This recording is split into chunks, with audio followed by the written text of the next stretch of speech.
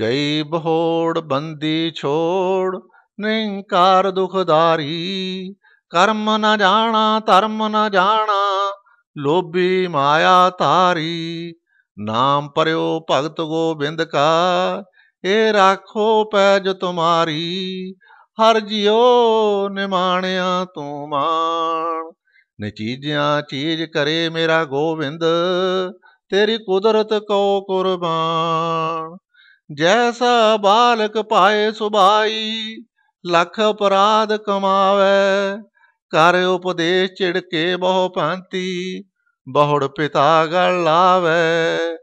ਪਿਛਲੇ ਔਗਣ ਬਖਸ਼ ਲਏ, ਪ੍ਰਭ ਆਗੇ ਮਾਰਗ ਪਾਵੇ।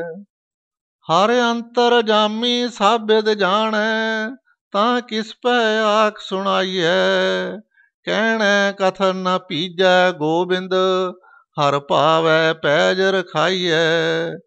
ਅਵਰ ਓਟ ਮੈਂ ਸਗਲੀ ਦੇਖੀ, ਇਕ ਤੇਰੀ ਓਟ ਰਹਾਈਐ।